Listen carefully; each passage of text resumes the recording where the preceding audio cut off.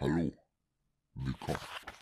Ich bin Dark Metatron, der Schreiberling des gefallenen Bauers. Und in meinem Buch der Grausamkeiten werden all die Geschichten festgehalten, bei denen mein Herr seine Hände mit dem Spiel hat oder die es für mich wert sind, festgehalten zu werden. Ah, nehmen wir doch diese hier. Die heutige Geschichte heißt Neustart.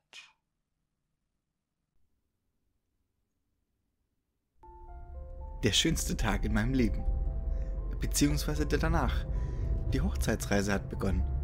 Monotone Motorengeräusche unterstreichen die kaum zu spürende Vibration, die mein Auto während der Fahrt zu empfinden gibt. An beiden Seiten der Autofenster ziehen senkrechte Reihen aus gleich aussehenden Baumreihen endlos an uns vorbei. Vereinzelte andere Autos verfolgen ihre eigenen, ganz individuellen Reisen. Hoffentlich in ähnlich schöne Ziele wie bei uns. Neben mir mischt sich das gleichmäßige Schlafatmen meines Geliebten zu den ruhigen Fahrtgeräuschen. Du bist so niedlich, hauch ich schmachtend in die Richtung meines schlafenden Frischvermählten. Die Spitzen seiner bräunlichen Haare hängen ihm schlaff ins Gesicht und bewegen sich im Zuge seiner Atmung gleichmäßig hin und her. Mein Blick gilt wieder dem scheinbar endlosen Straßenverlauf vor uns. Ich stelle mir gerade vor, dass ich just in diesem Augenblick eine behütende Funktion ausübe. Meine volle Aufmerksamkeit sorgt dafür, dass unsere Reise zum gebuchten Hotel sicher verläuft. Mit einer Hand schalte ich den CD-Player des Autoradios an und werde mit dem Lied Hiu de la Luna begrüßt. Ganz körperlich wohlige Gänsehaut antwortet dem Lied augenblicklich. Landhaushotel Ruhepol, 5 Kilometer, lese ich leise vor und lege ein Lächeln auf mein Gesicht. Zu den sanften Klängen des wunderschönen Liedes leicht mitwippend sorge ich durch die leichte Drehung des Lenkrads dafür, dass unser Auto in die Landstraße einfährt. Ich bin gespannt, mauschel ich vor mich hin, bevor mich die Hand meines Liebsten am Bein streichelt. Er ist wach. Hab ich dich geweckt, Schatz? frage ich behutsam und lege eine meiner Hände auf die seine. Nein, alles gut, gähnt mein Liebster, Olli, seine Antwort und streichelt mit seinem Daumen meinen Handrücken. Mein Blick, der fest gerade ausgerichtet geblieben ist, erblickt endlich ein wunderschönes, nach außen hin rustikal wirkendes Gebäude. Nur scheinbar lässt dieses Gemäuer den Gedanken an Jahrhunderte des Bestehens aufkeimen. Doch das genaue Gegenteil ist der Fall. Es wird offenbar regelmäßig saniert. Zumindest sofern ich dies aus den Bildern über eben jenes Hotel in Erinnerung behalten habe. Je näher wir unserem Ziel kommen, desto ungeduldiger rutsche ich auf dem Fahrersitz hin und her, getrieben von blanker Vorfreude. Es sieht fantastisch aus, murmelt mein Liebster begeistert. Durch meine Hand fährt ein Druckgefühl. Er ist mindestens genauso aufgeregt. Es dauert keine fünf Minuten, da parke ich bereits das Auto auf dem kleinen Parkplatz direkt rechts neben unserem Zielort. Das aus dunklem bräunlichen Gestein bestehende Hotel schließt an allen Seiten an einen tiefgrünen Wald an. Mehrere Trampelpfade führen direkt in das dichte Dickicht. Das ist echt was für dich, oder Liebling? frage ich Olli zwinkernd. Er piekst mich amüsiert in die Hüfte und schultert gleich danach sowohl meine als auch seine eigene Reisetasche. Das Innere unseres Hotels raubt uns buchstäblich den Atem.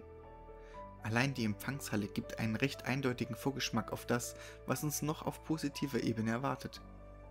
Alles ist in warmen Brauntönen gehalten, seien es die zahlreichen fellartigen Teppiche, die beinahe nahtlos aneinandergereiht ausliegen, die Landschaftsgemälde und Stillleben, die in perfekter Symmetrie über jede der sechs Türen hängen, oder die Sofas im Wartebereich der Eingangshalle. Ein anderes Paar, in ein Gespräch versunken, sitzt auf einem der Möbelstücke Ah, und das ist dann wohl die Familie Remstal, begrüßt uns ein junger Gentleman, der hinter dem Empfangstresen arbeitet, mit nonchalantem Blick heiter. Sein eleganter, dunkler Anzug passt beinahe schon peinlich perfekt zu seinem ebenso dunklen, nach hinten gegelten Haaren. Das Einzige, was mir an ihm nicht gefällt, ist, dass es nichts gibt, was an ihm zu bemängeln wäre. Wir begrüßen ihn lächelnd und bestätigen unsere Ankunft. Wohlan denn, ich geleite Sie auf Ihr Zimmer, spricht der Rezeptionist mit einer Wortwahl, die absolut gar nicht seinem Alter entspricht. Olli und ich schauen uns lächelnd an. Wahrscheinlich werden die Mitarbeiter in diesem Hotel dazu angehalten, sich gewählt zu artikulieren. Soll mich nicht stören. Dieses Hotel, müssen Sie wissen, beginnt unser Führer, während er uns durch die makellos sauberen, schon beinahe glänzenden Flure führt, ist bekannt für seine ruhige und besinnliche Atmosphäre. Uns ist es ein stetes Anliegen, für eine adäquate Umgebung zu sorgen, in der Liebende ihre wohlverdiente Zweisamkeit verbringen können, erklärt er uns, ohne den gerade ausgerichteten Blick abzuwenden. Gibt es besondere Angebote, die wir wahrnehmen können? fragt Olli und legt dabei seinen Arm als zusätzliche Gestik um mich. Unser Führer gluckst. Natürlich, doch wisset, dass diese es in sich haben. Auf romantische Weise versteht sich. Da wäre zum Beispiel, und der Rezeptionist scheint sich in endlose Aufzählungen diverser Aktivitäten für Paare zu verlieren. Eine schöner formuliert als die andere. Ich weiß nicht, wie es meinem Liebsten geht, aber ich fühle mich hier wie im Paradies. Kurze Zeit später öffnet uns der Rezeptionist mittels einer Chipkarte die Tür zu unserem Zimmer. Es ist nicht sonderlich groß, doch dafür unglaublich gemütlich eingerichtet. Das exakt in der Mitte stehende Doppelbett ist sauber zurechtgemacht und mit Rosenblättern verziert. An der Wand darüber hängt ein Bild von uns. Hey Schatz, hast du das schon gesehen? frage ich und zeige Olli das Bild von uns, auf dem wir Arm in Arm liegen. Ist das nicht unser erstes gemeinsames Bild? Von vor drei Jahren, würde ich schätzen, antwortete Olli stirnrunzelnd und geht etwas näher an das Bild heran. Wir wenden uns an den Rezeptionisten, der uns noch immer mit demselben höflichen Gesichtsausdruck anstrahlt. Eine der kostenlosen Zusatzleistungen unseres Hauses beläuft sich darauf, dass wir auf den sozialen Plattformen nach einem geeigneten gemeinsamen Bild suchen und dieses zum Zwecke des Wohlbefindens in die gebuchten Zimmer hängen, erklärt der junge Gentleman. Etwas gruselig ist das schon, wenn ich ehrlich bin. Ich habe keine Ahnung, ob mir das gefallen soll oder ich es als Eingriff in meine Privatsphäre zu deuten habe. Und danach? Also, wenn wir abgereist sind? Was geschieht dann mit dem Bild? hakt mein Ehemann nach. Ich bin froh, dass er sich nicht so einfach abspeisen lässt. Dürfen Sie entscheiden, was damit geschehen soll. Sie können es gerne mit sich nehmen, es von uns hier vernichten lassen oder uns zur Ausstellung in der Gästegalerie zur Verfügung stellen. Es kostet sie mitnichten irgendwas, außer ein Wort der Bestimmung, erwidert der Rezeptionist beinahe wie aus der Pistole geschossen. Dieses Gespräch wird er demnach wohl öfter führen. Als er uns die Bedienung des Zimmertelefons, das sich auf dem Nachttisch neben dem Bett befindet, erklärt und uns seine Dienstnummer zur Verfügung gestellt hat, wendet er sich mit einer charmanten Verbeugung zum Gehen. Liebenswerter junger Mann, kommentiert mein Ehemann, sich am Kopf kratzend, und wirft sich als erste Amtshandlung mit Schmackes auf das Zimmerbett. Den Rest des Tages verbringen wir einfach nur im Bett und genießen die Vorzüge jener Aktionen, die man in Flitterwochen nun einmal so tut. Ehe wir uns versehen, hat sich das Licht des Tages verabschiedet und die Nacht ist hereingebrochen. Mein Liebster ist bereits eingeschlafen. Sein ruhiges, gleichmäßiges Atmen, das sonst mein Sedativum ist, geleitet mich heute aus irgendeinem Grund nicht in das Land der Träume. So vertrete ich mir auf den mir irrwitzig lang erscheinenden Fluren die Beine. Schlaflos, werte Dame, höre ich die junge, bekannte Stimme des Rezeptionisten direkt hinter mir. Erschrocken wirbel ich herum und schaue in das verständnisvoll lächelnde Gesicht des jungen Gentleman. Ich nicke wortlos, aber mit freundlichem Ausdruck auf den Lippen. Der Angestellte tritt einen Schritt vor und schaut mir unentwegt in die Augen. Nun, beginnt er, und das erste Mal schwindet sein Lächeln. Die Nacht birgt viele Sorgen, und eben jene Sorgen stellen das Glück zweier Liebenden gar oft auf eine Probe. Sagen Sie, was sind Ihre Sorgen? Ich lege meinen Kopf schief. So ganz verstehe ich nicht, was er von mir möchte. Er scheint meinen fragenden Blick richtig zu interpretieren, denn er legt kollegial seine linke Hand auf meine Schulter. Ein Schauer überkommt meinen Körper. Das beklemmende Gefühl von undefinierbarer Angst verdrängt sämtliche anderen, vorher existierten Gefühlsgemische. Ihr Fehler, meine teuerste, ist bereits begangen. Die Sorgen sind Schatten, die bereits ihr Innerstes verdorben haben. Sie hängen sich wie ein Schleier auf ihre Seele. Schlafen Sie gut sagt der Rezeptionist seltsam traurig und geht, ohne ein weiteres Wort zu verlieren, an mir vorbei. Meine Angst scheint mir, kehre sofort in dein Zimmer zurück, zuzuflüstern, und ich gebe diesem Verlangen nur zu gerne nach. Etwas schneller als normal gewesen wäre, eile ich zu meiner Unterkunft zurück. Öffne die Tür mit der Chipkarte. Reiße sie auf. Oh mein Gott! Ist das Einzige, was ich auszustoßen vermag. Das kann nicht wahr sein. An einem Strick, leblos schwingend, hängt mein Liebster an der Zimmerdecke. Bewegt sich nicht mehr. Stoße ich beinahe schreiend hervor, steige vor Panik getrieben auf das Bett und versuche mit allen Mitteln den Strick zu lösen. Tränen verwischen meine Sicht, und mit jeder Sekunde, die vergeht, schwindet meine Hoffnung immer weiter. Bitte, lieber Gott, lass es nur ein Traum sein. Ein böser Traum. Nur ein böser Traum. Flüstere ich immer und immer wieder. Endlich schaffe ich es, meinen Olli von dem Strick zu befreien. Leblos daliegend könnte ich fast meinen, dass er schläft. Ich lausche in utopischer Hoffnung, dass ich eventuell ein sanftes Schlafatmen höre. Die Trauer schwächt mich. Ich weine, weine nur noch, weine mir die Seele aus dem Leib, weine in der Hoffnung, dass ich aufwache und alles nur ein böser Traum gewesen ist. Was ist nur passiert? Die Sorgen? Sorgen. Reset der schönste Tag in meinem Leben. Beziehungsweise der danach. Die Hochzeitsreise hat begonnen. Monotone Motorengeräusche unterstreichen die kaum zu spürende Vibration, die mein Auto während der Fahrt zu empfinden gibt. An beiden Seiten der Autofenster ziehen senkrechte Reihen aus gleich aussehenden Baumreihen endlos an uns vorbei. Vereinzelte andere Autos verfolgen ihre eigenen, ganz individuellen Reisen. Sie fahren in meiner Fahrtrichtung mit dem Heck voran, sodass ich frontal in ihr Fahrzeuginneres sehen kann. In den drei Autos sitzt der jeweils gleiche Mensch. Ein junger Mann, der, soweit ich es erkennen kann, dunkle nach hinten gegelte Haare hat und einen Anzug zu tragen scheint. Findest du das nicht komisch? Hoffentlich fahren sie in ähnliche schöne Ziele wie wir. Neben mir mischt sie das gleichmäßige Schlafatmen meines Geliebten zu den ruhigen Fahrtgeräuschen. Mit einer Hand schalte ich den CD-Player des Autoradios an und werde mit dem Lied sorgenfrei begrüßt. Ganz körperlich eigenwillige Gänsehaut antwortet dem Lied augenblicklich. Bald schon kommt das Schild zum Hotel unserer Träume in Sichtweite. Landhaus Hotel Sorgenruhe. Fünf Kilometer, lese ich leise vor mich hin und rutsche vor Ungeduld gepeitscht auf meinem Sitz hin und her. Die Hand meines Geliebten streichelt mir über mein Bein. Hab ich dich geweckt, Schatz? frage ich behutsam und lege eine meiner Hände auf die seine. Ja, es ist nicht weiter tragisch, gähnt mein Liebster, Olli, seine Antwort und streichelt mit seinem Daumen meinen Handrücken. Mein Blick, der fest geradeaus gerichtet geblieben ist, erblickt endlich ein wunderschönes, nach außen hin rustikal wirkendes Gebäude. Es scheint, als hätte dieses Hotel bereits Jahrhunderte überdauert. Doch es gibt exakt den Charme wieder, den ich so schätze an alten Gebäuden. Es scheint immer mal wieder saniert zu werden, zumindest sofern ich dies im Anblick des braunen, gräulichen Gemäuers zu deuten vermag. Bald schon parke ich das Auto auf dem Parkplatz direkt links neben dem Hotel.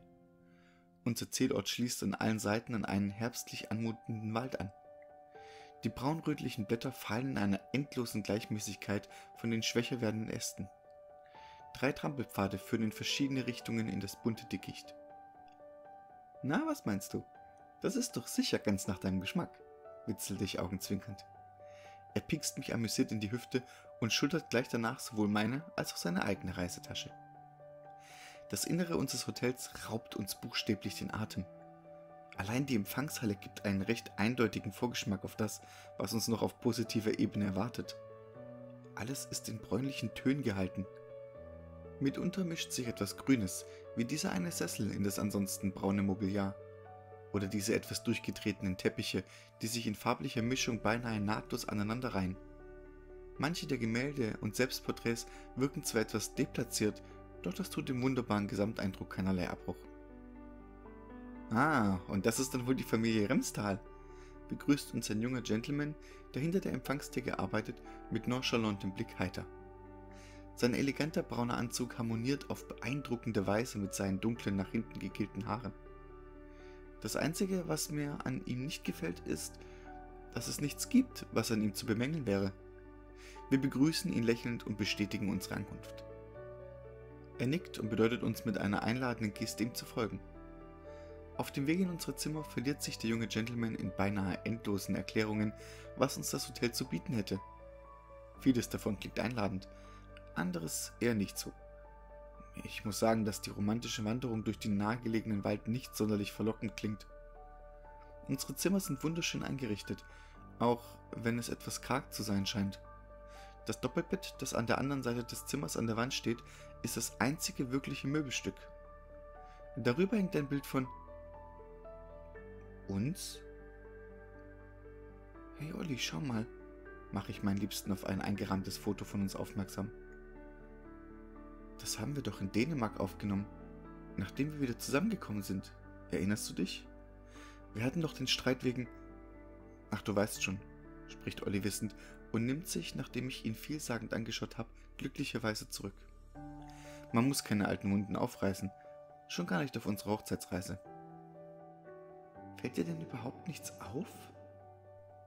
Der Rezeptionist erklärt uns, dass das Personal dieses Hotels auf sozialen Netzwerken nach passenden Bildern sucht, wir aber die volle Befehlsgewalt darüber haben, was mit dem Bild geschehen wird. Seltsamer Brauch, der aber mit Sicherheit nur lieb gemeint ist. Mit einer galanten Verbeugung verabschiedet sich der junge Mann und lässt uns in unserem gemütlichen Zimmer allein. Grinsend zieht mich mein frisch gebackener Ehemann zu sich heran. Wollen wir unsere Flitterwochen gebührend beginnen? hauchte mir charmant zu. Wie könnte ich dem widerstehen? Unser Liebesspiel dauert bis in die späten Abendstunden an. Dem ruhigen, gleichmäßigen Schlafatmen neben mir zu urteilen, ist mein Geliebter in einen tiefen Schlaf gefallen. Er ist so unglaublich niedlich. Mich hält es diese Nacht aus unerklärlichen Gründen wach, und so entschließe ich mich, mir die Füße auf den endlos scheinenden Fluren zu vertreten. Noch wach, werte Dame? Höre ich die junge, bekannte Stimme des Rezeptionisten direkt hinter mir. Erschrocken wirbel ich herum und schaue in das mitleidig lächelnde Gesicht des jungen Gentleman. Ich nicke wortlos, aber mit freundlichem Ausdruck auf den Lippen. Der Angestellte tritt einen Schritt vor und schaut mir unentwegt in die Augen. Ich weiß nicht, wie ich diesen mitleidigen Ausdruck zu bewerten habe. Eigentlich möchte ich den genauen Grund erfragen, doch irgendwas nicht Greifbares hindert mich genau daran. Sorgenvoll wie einst, doch etwas ist anders. Da ist noch weitaus mehr, tief vergraben in den Weiten ihres Zwielichts, sinniert der Rezeptionist und streicht sich mit einer nachdenklich wirkenden Geste durch seine nach hinten gegelten Haare. Ich möchte etwas entgegnen, doch etwas, das sich wie eine unsichtbare Schlinge anfühlt, schnürt mir in jenen Augenblicken gefühlstechnisch die Kehle zu. Geheimnisse sind düstere Vorboten schlimmer zukünftiger Begebenheiten, meine teuerste. Möchten Sie nicht die Ruhe lieber der Stresszeit vorziehen? fragt der junge Mann mich und geht mit einem nicht zu deutenden Gesichtsausdruck an mir vorbei. Eine absolut grauenhafte Vorahnung überkommt mich, und wie von selbst scheinen mich meine Beine im Laufschritt zum Zimmer zurückzutragen. Hektisch reiße ich die Zimmertür auf, die ich vorher einen Spalt offen gelassen habe, nur um mich einer Szenerie gegenüber zu sehen, die mich innerlich in eine Welt des Horrors wirft. In einer Lache seines eigenen Blutes verkrümmt, liegt mein Geliebter vor mir auf dem Zimmerboden. Seine Augen starren mich mit einer düsteren Leere an. Kraftlos sack ich vor dem leblosen Körper meines Mannes zu Boden. Oh mein Gott, nein, bitte nicht, schluchzt ich benommen. Geheimnisse, meine teuerste, sind ein furchtbarer Schreckensgarant, spricht die Stimme des Rezeptionisten direkt hinter mir. Ich merke, wie sich eine Hand auf meine Schulter legt. Reset. Ein echt toller Tag in meinem Leben. Beziehungsweise der danach. Die Hochzeitsreise hat begonnen. Schneller als eigentlich gewollt, doch es ist der Wunsch meines Ehemannes. Wie könnte ich ihm etwas abschlagen? Leicht holpernde Motorengeräusche, die sich in die ansonsten gleichmäßigen Mischen, unterbrechen die kaum zu spürende Vibration, die mein Auto während der Fahrt zu empfinden gibt. An beiden Seiten der Autofenster ziehen senkrecht einige vereinzelte Bäume endlos an uns vorbei. Wir sind als Einzige auf der Autobahn. Die muss doch auffallen, dass hier etwas nicht stimmt. Ab und an gehen einige Menschen am Straßenrand entlang. Beim genaueren Hinsehen erkenne ich stets denselben jungen Mann. Er trägt einen weinroten Anzug und schwarze, nach hinten gegelte Haare. Sechsmal fahre ich in regelmäßigen Abständen an ihm vorbei. Bitte, nimm mich wahr. Schau genauer hin. Als ich den CD-Player anschalte, werde ich von Secret von The Pierces begrüßt. Auch wenn ich mich nicht daran erinnern kann, dieses Lied schon einmal gehört zu haben, kommt es mir zutiefst vertraut vor. Landhaushotel zum geheimen Rastersende. Noch fünf Kilometer. Lese ich das Straßenschild und ein einmaliges Kribbeln reagiert augenblicklich auf diese Information. Sind wir bereits da? höre ich die Stimme meines Geliebten. Er klingt nicht so, als wäre er gerade erst aufgewacht. Seine Haare, wie immer, sauber nach hinten gegelt. Manchmal finde ich seine Affinität zu Anzügen schon ziemlich amüsant. Gleich, Liebling, freust du dich schon? Antworte ich liebevoll und lege meine freie Hand auf seinen Schoß. Er grinst mich schmal an. Es liegt eine Form von herzlicher Harmonie in diesem dünnen Lächeln. Sie sind eine wahrhaft gute Autofahrerin, meine teuerste Natalia. Es schmeichelt mir. Diese Art des Sprechens imponiert mir. So ist es schon immer gewesen. Matthias ist so ein charmanter und gebildeter Mann. Ich freue mich sehr auf unsere Flitterwochen in dem Hotel. Schon biege ich in eine Landstraße ein. Schon bald kommt das rustikal wirkende Gebäude in Sichtweite. Dieses Hotel, müssen Sie wissen, beginnt mein Liebling, während er meine Hand wieder an das Lenkrad führt und meine Seite zu streicheln beginnt, ist bekannt für seine ruhige und besinnliche Atmosphäre. Ihnen dort ist es ein stetes Anliegen, für eine adäquate Umgebung zu sorgen, in der wir Liebenden unsere wohlverdiente Zweisamkeit verbringen können, erklärte er mir, ohne den gerade ausgerichteten Blick abzuändern. Was zum Teufel? Hey, du Spießer, wir sind jetzt verheiratet. Du kannst dann aufhören, mich zu siezen. Sie sind wirklich amüsant, meine Teuerste, erwiderte mein Geliebter suffisant und belässt es somit dabei. Kurze Zeit später parke ich das Auto auf dem Parkplatz, der sich direkt vor dem Hotel befindet. Das Gemäuer zeigt einige Zeichen von Sanierungsbedarf. Irgendwie stehe ich auf ältere Gemäuer. An das Hotel grenzt ein dichter, rötlicher Laubwald. Jenem wunderbaren Wald, meine Werteste, wird eine liebesfördernde Wirkung nachgesagt. Es heißt, dass zwei Seelen dort alleine hineinwandern und als eine Einheit jenen Ort wieder verlassen haben, erklärt mein Ehemann, als er interessiert die Umgebung betrachtet. Ich nehme ihn lächelnd an die Hand und muss ihn beinahe hineinzerren, damit wir endlich unsere Flitterwochen beginnen können. Das Innere des Hotels wirkt ein wenig anders als in den rosigen Versprechungen der Homepage. Die Eingangshalle ist relativ spartanisch eingerichtet. Zu unserer Rechten befinden sich ein paar ganz gemütlich aussehende braune Stühle, die in einer U-Formation aufgestellt sind. Vereinzelt sind über den rustikal wirkenden Holzboden graue Teppiche verteilt und an den Wänden hängen genau zwei Landschaftsbilder. Es sind beides dieselben. So manches Mal knarzt der Holzboden, als wir über ihn in die Richtung der Rezeption gehen. Ein markant wirkender Mann mit braunen Haaren, dessen Haarspitzen ihm kraftlos ins Gesicht hängen, begrüßt uns mit einem Nicken. Wir sind Familie Remstal fällt mir der Rezeptionist ins Wort und mustert mich mit seinen hellen Augen aufmerksam. Dann holt er eine Chipkarte unter der Theke hervor und hält sie meinem Mann wortlos entgegen. Das ist irgendwie seltsam. Erkennst du ihn denn nicht? Schau genau hin. Würde es Ihnen etwas ausmachen, uns in unser Gemach zu geleiten, werter Herr? fragt mein Liebster freundlich und respektvoll. Der Braunhaarige nickt stumm, tritt hinter seiner Theke hervor und bedeutet uns mit einer nicht sonderlich freundlichen Handgestik ihm zu folgen. Mein Mann und ich tauschen vielsagende Blicke aus, dann folgen wir den Rezeptionisten.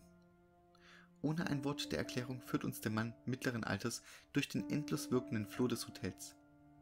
Links und rechts ziehen hölzerne Türen an uns vorbei und das immer gleiche Landschaftsbild begegnet uns an den Wänden. Eine Wiese, auf dem eine dunkel gekleidete Person zu sitzen scheint.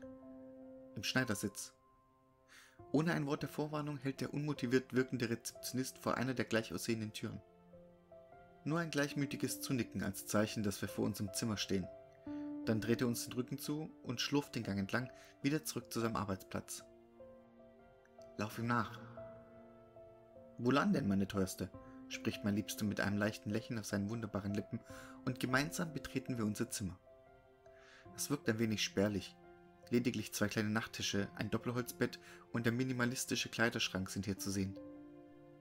Über dem Bett hängt noch ein Bild von uns, meinem liebsten Gatten und mir. Ich hebe meine Augenbraue hoch. Liebling, hast du das schon gesehen?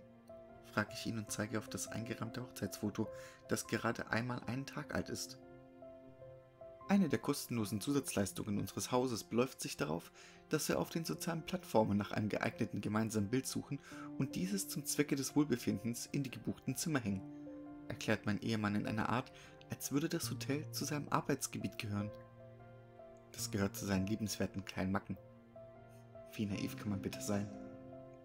Ich nicke stumm und verfalle in einen leidenschaftlichen Kussrausch mit meinem Geliebten. Dieser steigert sich in wilde Liebesspiele, die bis in die Nacht hinein andauern. Ich habe permanent dieses Gefühl, dass mein Innerstes nicht mehr zu kribbeln aufhört. Dieses Kribbeln lässt mich danach nicht mehr zur Ruhe kommen. Während mein Ehemann ruhig schlafatmend im Bett liegt, entschließe ich mich zu einem Spaziergang auf dem Flur des Hotels. Entkomme dem Kreislauf. Eine Weile lang gehe ich einfach nur den einen langen Gang auf und ab. Hoffentlich werde ich davon auch müde. Hab gelesen, dass das helfen soll. Geheimnisse, tief vergraben in den Unweiten ihres einst reinen Seelengemäuers, spricht mich eine aalglatte Stimme von hinten an. Ein heftiger Schreck überkommt mich und sorgt dafür, dass ich mich reflexartig nach dessen Ursache umschaue. Nur ein paar kleine Schritte hinter mir steht ein junger Mann mit zurückgegelten Haaren, der meinem Ehemann zum Verwechseln ähnlich sieht. Eigentlich gibt es gar keine Unterschiede. Einzig mein Bauchgefühl verrät mir, dass dieser hübsche Kerl vor mir nicht mein Gatte sein kann. Was für Geheimnisse? frage ich verdutzt und finde es erstaunlich, dass gerade dies meine erste Frage an ihn ist. Noch sind Sie dafür nicht bereit. Sie sollten weiterziehen. Los, spricht mein Gegenüber kryptisch und schreitet lächelnd an mir vorbei. Alles kollabiert. Ohne Vorwarnung beginnen sämtliche erleuchteten Lampen, die sich auf diesem Flur befinden, unkontrolliert zu flackern. Ein ähnlicher Effekt wie bei einem Stroboskop. Licht und pure Dunkelheitsphasen wechseln in nicht einmal sekündlichem Abstand, sodass ich mich in gefühlter Zeitlupe fortzubewegen scheine. Mir wird unfassbar übel. Träume ich? Ich stoße ein ersticktes Keuchen hervor, als in den nächsten kurzen Lichtepisoden zwei männliche Gestalten auf dem Flurboden zu liegen scheinen. Einer davon der gelangweilte Rezeptionist und der andere. Oh nein, hauch ich tonlos. Die zweite reglose Gestalt ist die meines Ehemannes. Es ist, als würde mein Herz meine Welt in wenigen Atemzügen in eine innere Apokalypse gezogen. Ich kann das nicht aushalten. Bitte, lass das nicht wahr sein. Irgendjemand. Bitte. Reset. Toller Tag. Kann gar nicht besser verlaufen. Unsere Hochzeitsreise hat endlich begonnen. Bereits seit einigen Stunden sind wir, mein Ehemann und ich, auf dieser Landstraße unterwegs. Der Mond an diesem Tag scheint in seinem schönsten Violett.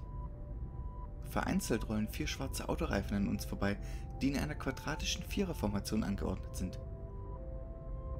Hältst du das wirklich für normal? Bäume aus rotem Backstein ziehen gleichmäßig an unseren rechten und linken Seitenfenstern vorbei. In permanent klingendem Takt gibt der Motor unseres gemieteten Ehewagens menschlich anmutende Pfeifgeräusche von sich. Bitte. Es ist so unglaublich niedlich, wie er da so auf dem Beifahrersitz liegt und friedlich schlummert.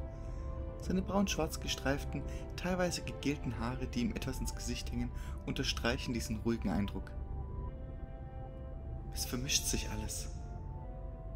Vorsichtig versuche ich, das Bein meines Liebsten zu streicheln, ohne ihn zu wecken. Vergeblich. Gemächliches Brummen kommt von ihm und einige Momente braucht er, um zu realisieren, wo er sich gerade befindet. Ich kichere vergnügt. Nach einer Minute beginnt mein Liebster zu sprechen. Keine Ahnung, mein Schatz, aber laut dem letzten Verkehrsschild sind wir noch 10 Kilometer von dem Hotel entfernt, antworte ich sanft und halte mit meiner Hand die seine. Das Radio spielt in leicht schiefen Tönen Bitter Pill von Gavin James. Kommt von meinem Engel, während er aus seinem Beifahrerfenster schaut. Ja, das Wetter ist wirklich großartig. Wir haben strahlendes Tageslicht heute, antworte ich zufrieden und biege in eine unfertige Landstraße ab. Die Anzahl der roten Backsteinbaumreihen nimmt stetig ab. Bald kommt schon unser Ziel in Sichtweite. Zerfallene Ruine. Dieses Gebäude ist ganz nach meinen Vorstellungen. Der rustikale Charme der Häuserfassade lässt mich vor Freude auf meinem Sitz hin und her rutschen. Die kribbelnde Vorfreude treibt mich an. Hallo, heißt es wie fragt mich mein Gatte, während er den Kofferraum leert. Euer Kofferraum ist doch bereits leer. Da ist nichts. Bitte. Ich nicke stumm und gleich schon betreten wir das alte, wunderschöne Gebäude. Von innen betrachtet ist es sogar noch viel ansprechender. Der spartanische Stil der Eingangshalle macht es genau richtig. Weniger ist mehr. Davon mal ab, dass da absolut gar nichts ist. Es ist eine Ruine. Bitte öffne doch deine Augen. An der Rezeption angekommen liegt unser Zimmerschlüssel bereits auf der Theke. Mein Liebster und ich schauen uns nur kurz an. Vermutlich ist der Arbeiter woanders beschäftigt. Wollen wir schon mal vorgehen? So ein, erwidert er, streicht sich durch seine braunschwarzen Haare und nimmt den Schlüssel an sich. Darauf ist Nummer 4 eingraviert. Kehre um. Du darfst nicht weitergehen. Zufrieden gehe ich neben meinem Liebsten her, bis wir vor dem Zimmer stehen, dessen Nummerierung die Zahl 4 aufweist. Huch, die Tür ist ja schon offen, bemerke ich und lege verwundert meinen Kopf schief. Das ist alles schon ein wenig seltsam. Mein Liebster stellt sich direkt in die Tür und versperrt mir somit den Einblick in unser Liebesnest. Es wird nie enden. Ich versuche mich an meinem breit gebauten, frisch vermählten vorbei ins Zimmer zu schieben, doch hält er mich rigoros davon ab. Sein Gesichtsausdruck ist von Besorgnis gezeichnet. Irgendwas stimmt hier nicht. Das sorgt nur dafür, dass ich noch dringlicher in dieses Zimmer möchte. Mit einem Mal überkommt mich dieses unangenehme Gefühl, dass ich mich schon einmal genau zu dieser Zeit an genau diesem Ort befunden habe. Es gibt am nächsten flüstert er aufgebracht und versucht mich zu schieben. Nichts da. Mit einem Ruck schaffe ich es, mich aus dem Griff meines Ehemannes zu befreien und stolpere gleichzeitig in unser Zimmer. Nein, hauche ich tonlos, als ich eine Szenerie erblicke, die ich mir selbst in den schlimmsten Horrorfilmen nicht hätte ausdenken können. Im gesamten Raum verteilt liegen die toten Körper meines Ehemannes. Aber wie? Warum so viele? Was, was ist hier los? Ich, ich, ich verstehe nicht. Schatz, stammele ich und wende mich hilfesuchend um, nur um festzustellen, dass er nicht mehr anwesend ist. Die Panik überschwemmt meinen völlig hilflosen Geist. So krieche ich, unfähig mich wieder auf die Beine aufzurappeln, aus dem Zimmer hinaus. Die Szenerie hat sich verändert. Dort, wo sich eben noch dieser altmodisch anmutende Flur befunden hat, erstreckt sich jetzt eine völlig zerstörte Ruine. Und erstmals nehme ich diesen modrigen Geruch wahr, der mich an Schimmel und Verfall erinnert. Kannst du es nun sehen? halt eine mir unbekannte, dringlich anmutende Stimme. Sie gehört einem Mann und scheint von allen Seiten auf mich einzubrechen. Erschrocken schaue ich mich innerhalb dieses heruntergekommenen, ehemaligen Gebäudes um. Wer bist du? rufe ich in das Nichts. Stille antwortet. Mein Herzschlag gleicht dem rasenden Rhythmus einer Marschkapelle. Was ist hier los? Mein Blick fällt wieder in das Zimmer von eben. Wie kann das sein? stoße ich fassungslos heraus. Der Raum, in dem eben noch die völlig gleich aussehenden Körper von meinem Mann gelegen haben, ist vollständig leer. Ruhig atmen, Natalia. Immer ruhig atmen, versuche ich mich selbst zu instruieren. Du bist wach. Sehr gut. Hör mir gut zu. Du musst gehen. Verschwinde von diesem Ort. Komm nie wieder. Lebe endlich dein Leben. Spricht diese ominöse Stimme auf mich ein. Was, was meint er damit? Mein Leben. Ich war bis eben noch mit meinem Mann zusammen, antworte ich verwirrt und zwinge mich in einer halben noch stehenden Wand wieder hoch auf die Beine. Wo ist er dann? fragt mich die unbekannte Stimme, und ich muss zugeben, dass ich darauf keine Antwort weiß. Meine Hoffnung sagt, dass ich ihn jede Sekunde in der zerstörten Wanddecke zu Gesicht bekomme. Doch da ist noch eine andere Stimme. Es fühlt sich an wie eine Gewissheit, die das widerliche Zusammenziehen meines Magens zur Folge hat. Ich weiß nicht, er war eben noch hier? Bei dir? Er war nicht anwesend. Zu keiner Zeit. Und tief in dir, weißt du das auch. Jetzt verschwinde von hier. Deine Anwesenheit macht es nicht ungeschehen. Unterbricht mich die Stimme und irgendwas in mir sagt, dass ich besser auf sie hören sollte. Von unbekannter und gleichzeitig unbändiger Panik getrieben, eile ich von diesem unbeschreiblichen Ort. Jedes auch noch so winzige Detail macht mich krank, lässt mich innerlich würgen, beschert mir das Gefühl, dass ich nicht hierher gehöre. All diese Gedanken schießen während meiner Flucht aus den Ruinen durch meinen Geist. Doch da ist noch etwas anderes, das innerlich von starken Kopfschmerzen begleitet aufblitzt. Es sind vereinzelte Bildfetzen. Mein Mann und ich, wie wir lachen, ein Fremder mit dunklen, nach hinten gegelten Haaren. Die Leiche meines Mannes, über die ich darüber gebeugt verharre. Meine Kopfschmerzen hämmern ungnädig auf mich ein. Der junge Fremde, wie er mir einen Koffer voller Geldscheine vor die Füße geworfen hat.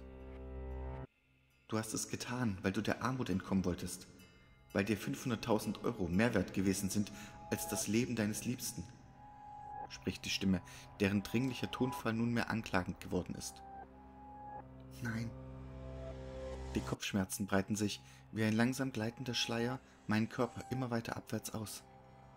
Meine Flucht hat mich an eine Baumreihe geführt, die weniger nach Backstein, sondern mehr wie echtes Holz aussehen. Weiter schaffen es meine Beine nicht, mich zu tragen. Seitenstechen und deutliche Anzeichen von Atemnot verhindern das Wortbestehen meiner Flucht. Ein letztes Mal drehe ich mich zu jenem Ort um, welchem ich gerade zu entkommen versuche. Wie kann das sein?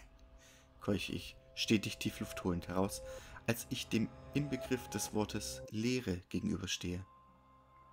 Dort, wo eben noch die Ruine oder was auch immer gewesen ist, befindet sich nunmehr das gähnende Nichts.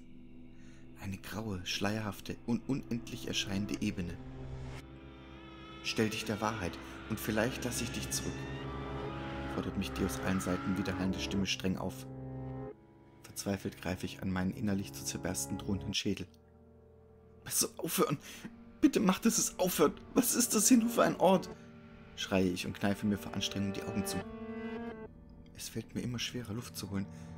Mein Herz scheint mit jeder seiner lebengebenden Pumpbewegungen gegen meine Brust zu donnern. Ein unsichtbares Etwas schlingt sich um meinen entkräfteten Körper, drückt mit unüberwindbarer Gewalt meine Gliedmaßen zusammen, sodass ich wie ein nasser Sack zu Boden falle.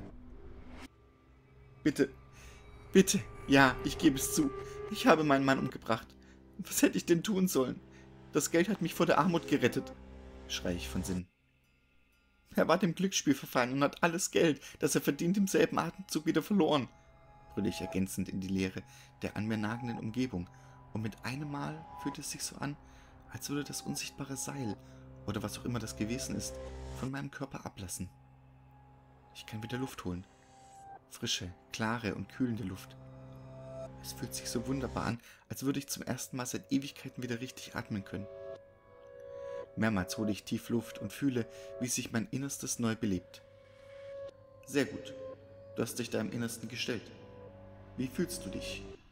fragt die Stimme nunmehr ruhiger, als wäre auch von ihr eine Art Last abgefallen. Ich muss nicht lange drüber nachdenken. Irgendwie befreit, gebe ich knapp und wahrheitsgemäß zurück. Ich schaffe es auch, mich wieder aufzurichten. Auch wenn ich wieder ruhig atmen kann und Kraft durch mein Innerstes fließt, ist eine Sache unverändert. Was ist mit der Umgebung? Warum ist sie immer noch so leer? frage ich verwirrt und eine kleine Prise Verunsicherung mischt sich in die Gesamtheit meiner eigentlich positiv werdenden Gemütslage. Schweigen hüllt sich in diese leere Szenerie. Du musst dich von ihr abwenden, dann kannst du all das hinter dir lassen. Warum antwortet mir die Stimme denn nicht mehr? Was soll das? Will sie mich quälen? Hallo? Bist du da? Oh nein, Natalia? Antworte mir! Verdammt, ich werde allein gelassen. Mal wieder. Dann muss ich mir meinen Weg wohl selbst durch dieses Nichts bahnen. Und so beginne ich, mir meinen Weg durch die Leere zu suchen. Nein, kehre um! Dieser Weg ist nicht gut für dich. Verdammt! Je weiter ich komme, desto unwohler fühle ich mich. Ich habe das Gefühl, in eine ewige Umarmung des Nichts zu laufen. Ist all dies ein Fehler gewesen? Es tut mir leid. Du bist noch nicht so weit gewesen. Bis bald, mein Schatz. Reset. Der schönste Tag in meinem Leben. Beziehungsweise der danach. Die Hochzeitsreise hat begonnen. Monotone Motorengeräusche unterstreichen die kaum zu spürende Vibration, die mein Auto während der Fahrt zu empfinden gibt. An beiden Seiten der Autofenster ziehen senkrechte Reihen aus gleich aussehenden Baumreihen endlos an uns vorbei. Vereinzelte andere Autos verfolgen ihre eigenen, ganz individuellen Reisen. Hoffentlich in ähnlich schöne Ziele wie bei uns. Neben mir mischt sich das gleichmäßige Schlafatmen meines Geliebten zu den ruhigen Fahrtgeräuschen. Du bist so niedlich, hauch ich schmachtend in die Richtung meines schlafenden Frischvermählten. Olli. Ich liebe ihn so sehr.